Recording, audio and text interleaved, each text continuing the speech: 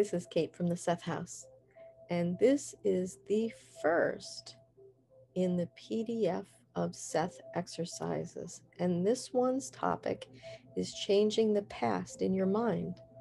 And this one is just a little different. It's the first one, but um, they reference two different books. So Seth Speaks, session 566. And also, we're going to make reference to the individual and the nature of mass events. And the date for that session was July 30th, 1977. So I would like for you to settle into your seat, your chair, your couch, wherever you are, and close your eyes. This helps to turn off the physical senses so we can move into and feel our inner senses. Now let's use the three to one count to go deep into alpha. We will inhale deeply. And on the exhale, I want you to use your imagination and see the number clearly and say the number silently to yourself three times, getting softer each time, like three, three, three. Okay, so let's go ahead and do that together. Inhale and exhale. And again.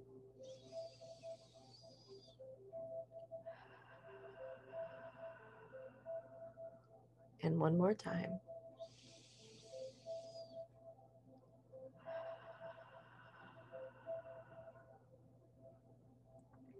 Now, our inner senses are awake, alive. I would like you to use your imagination and drop down into your heart space. And if you have trouble with this, just put your hand to your heart and feel the love that shines within you at the center of your chest. Feel the strong sensation of love that is within each of you. Now, I would like you to imagine a door, a beautifully crafted door that opens out.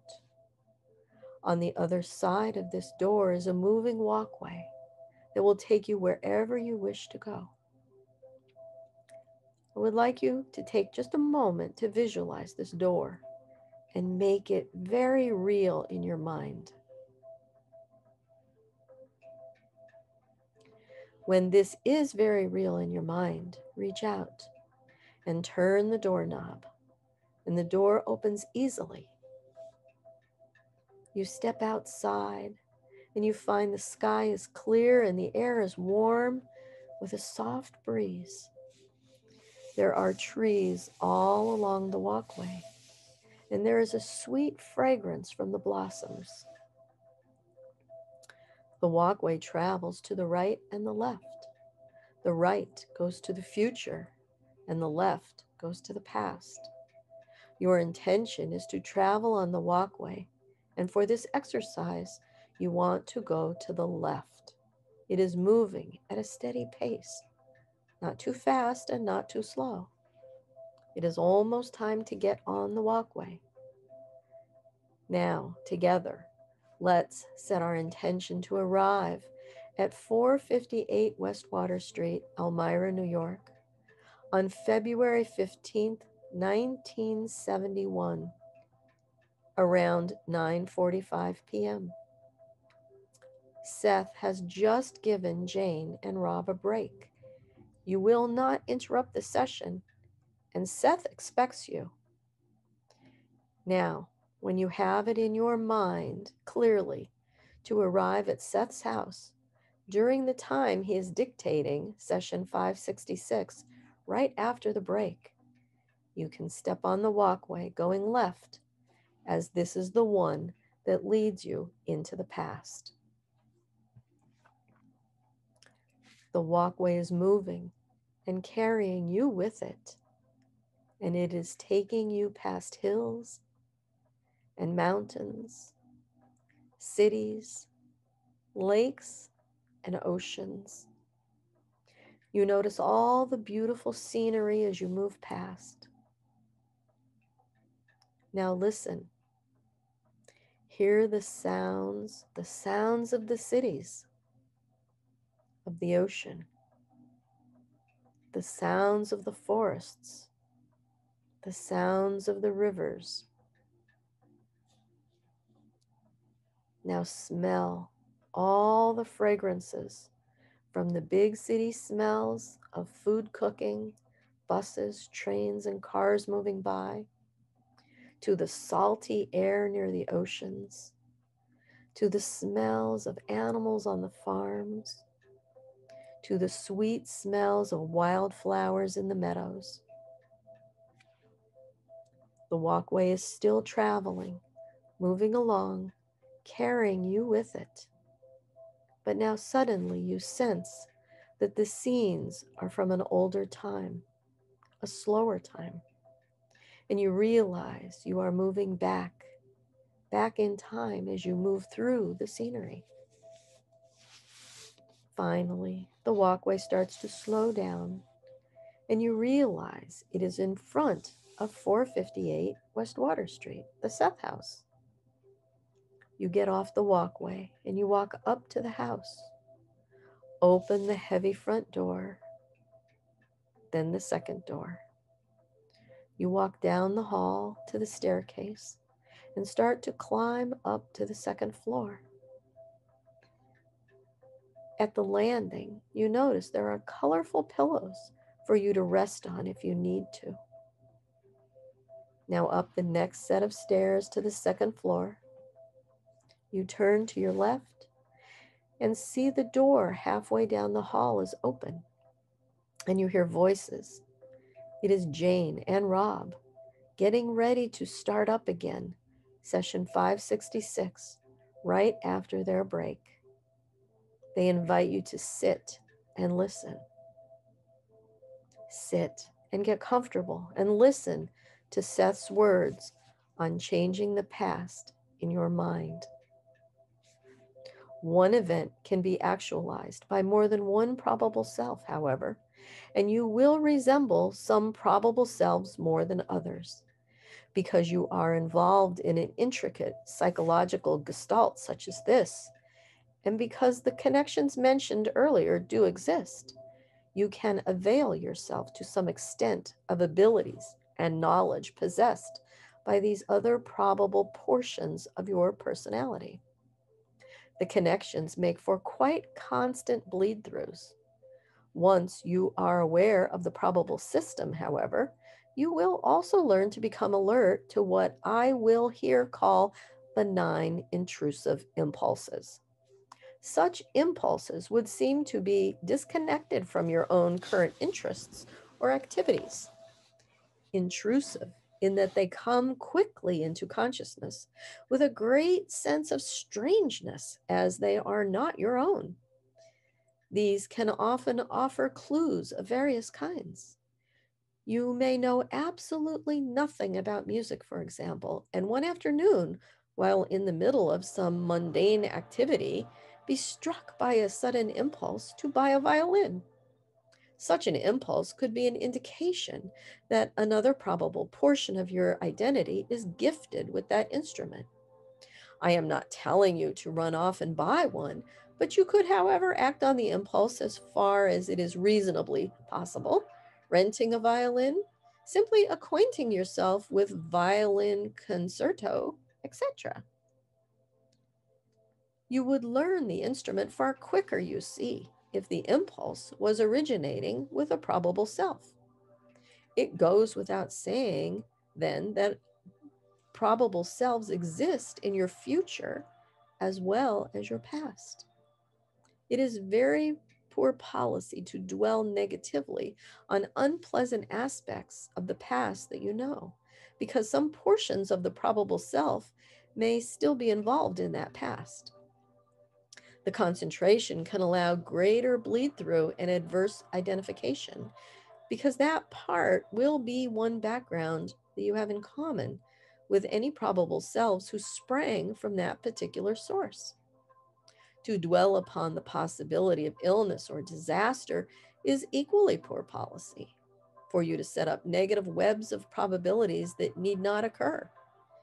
You can theoretically alter your own past as you have known it For time is no more something divorced from you than probabilities are.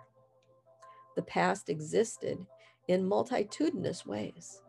You only experienced one probable past. By changing this past in your mind now, in your present, you can change not only its nature, but its effect, and not only upon yourself, but upon others pretend a particular event happened that greatly disturbed you in your mind, imagine it not simply wiped out, but replaced by another event of more beneficial nature.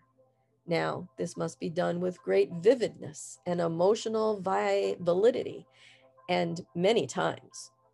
It is not a self deception. The event that you choose will automatically be a probable event which did in fact happen, though it is not the event you chose to perceive in your given probable past.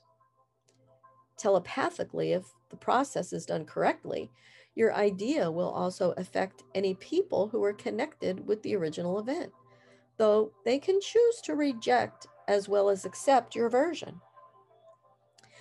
This is not a book on techniques, so I will not go into this particular method deeply, but merely mention it here.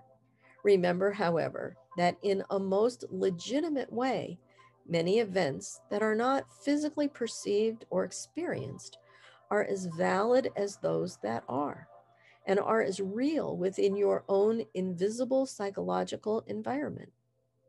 There are, in your terms, then, unlimited probable future events for which you are now setting groundwork. The nature of the thoughts and feelings you originate and those that you habitually or character- characteristically receive set a pattern. So you will choose from those probable futures, those events that will physically become your experience.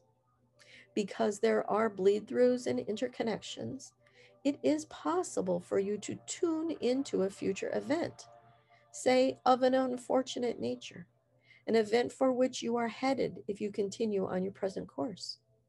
A dream about it, for instance, may so frighten you that you avoid the event and do not experience it. If so, such a dream is a message from a probable self who did experience the event. So so, can a child then in a dream receive such communications from a probable future self of such a nature that its life is completely changed? The entire identity is being now. All divisions are merely illusions. So, one probable self can hold out a helping hand to another, and through these intercommunications, the various probable selves in your terms begin to understand the nature of their identity. Now, Seth is moving us through time to July 30th, 1977 at 1044. And you now find yourself at the Hill House as Seth has more to add about this exercise in the individual and the nature of mass events. And Seth now continues. Now, in certain terms, the past, present, and future are all compressed in any given moment of your experience. Any such moment is therefore a gateway into all of your existence.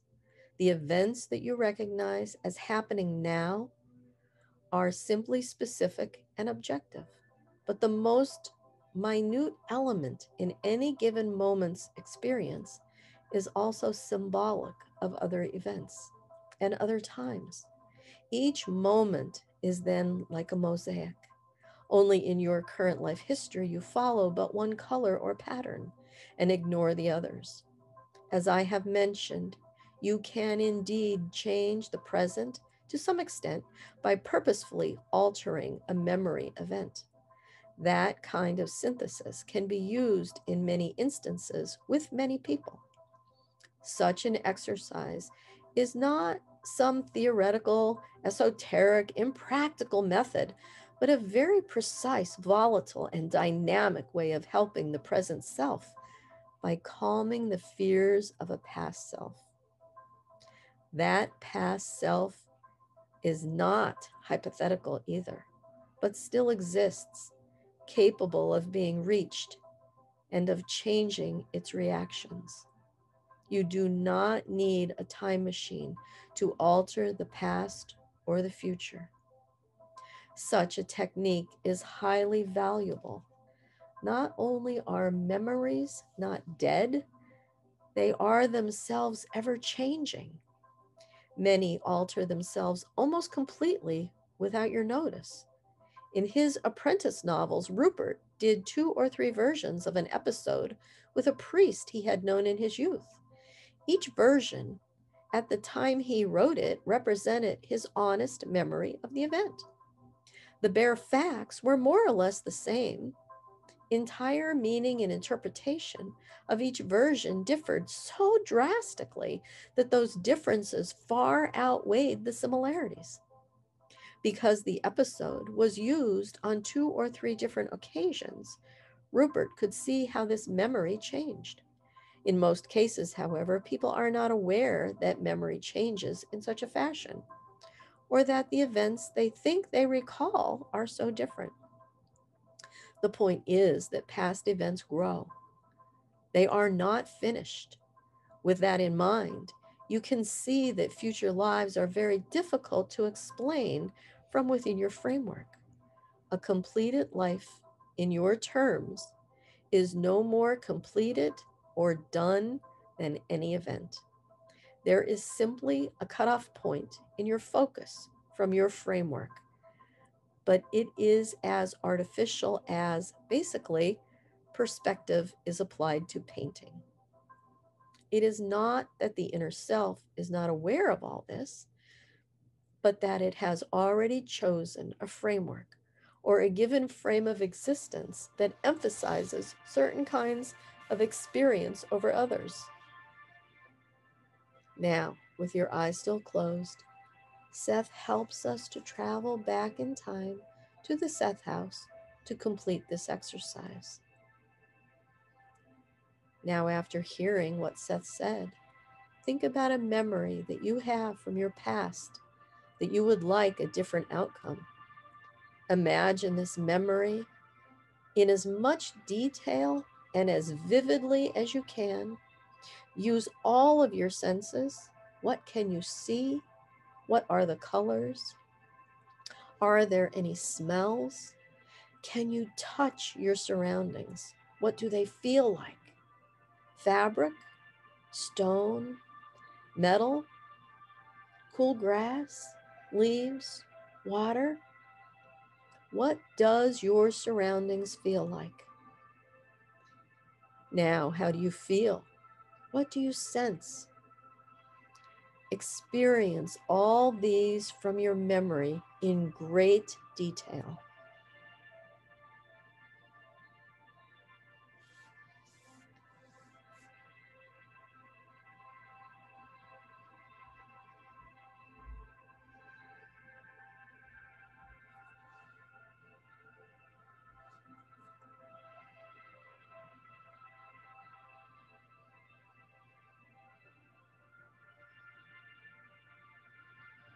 Now I would like you to walk through the scene again, using all your senses with just as much detail, but this time change the ending to a more suitable ending that you would like. Believe this is the correct memory with a better outcome, the ending you would like. Now we will take a few minutes to experience changing the past in your mind.